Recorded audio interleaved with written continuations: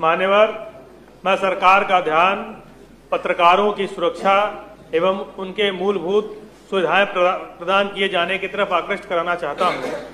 पत्रकारों द्वारा सरकारी तंत्र में व्याप्त भ्रष्टाचार एवं अराजक तत्वों के विरुद्ध खबरों को उजागर करने में उन्हें निरंतर धमकियाँ मिलती रहती हैं और उनके साथ मारपीट एवं अन्य दुर्घटनाएँ भी होती हैं, जिससे इन कलमकारों की जान गंवाने का भी कई बार ऐसा होता है।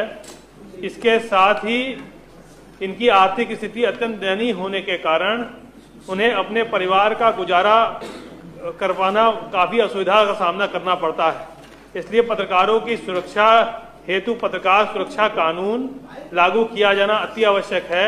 इसके साथ ही उनका 20 लाख रुपए तक का कैशलेस इलाज नए पत्रकारों को दस हज़ार रुपया एवं 20 वर्ष तक कार्य कर चुके वरिष्ठ पत्रकारों को पच्चीस हज़ार रुपया प्रति माह गुजारा भत्ता, एक करोड़ रुपए तक का जीवन बीमा, उन्हें अन्य योजनाओं से लाभान्वित करना एवं आवास विकास व विकास प्राधिकरण के माध्यम से नो प्रॉफिट, नो लॉस के आधार पर भवन पब्लिक प्लॉट उपलब्ध कराया जाना जनहित में आवश्यक है।